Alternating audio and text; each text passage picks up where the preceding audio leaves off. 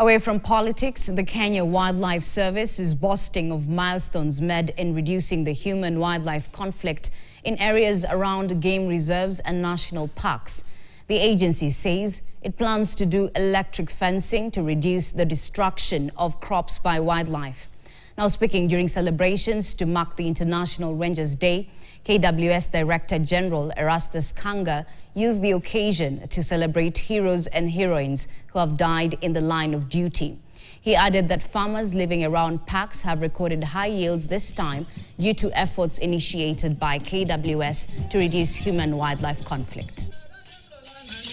Matatizo yote ambayo mnakumbana nayo kwa sababu ya wanyama wa ndovu ametajwa, tumetajiwa tumbili, sehemu zingine, kuhakikishia kwamba timu hii ya KWS itafanya kazi juu chini kuhakikisha kwamba hamtasumbuliwa na hawa wanyama.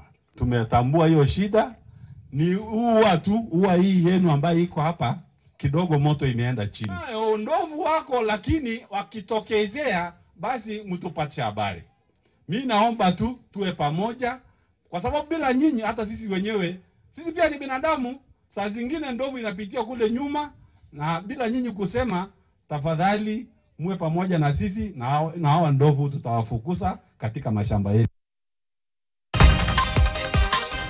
Another break ahead in business news.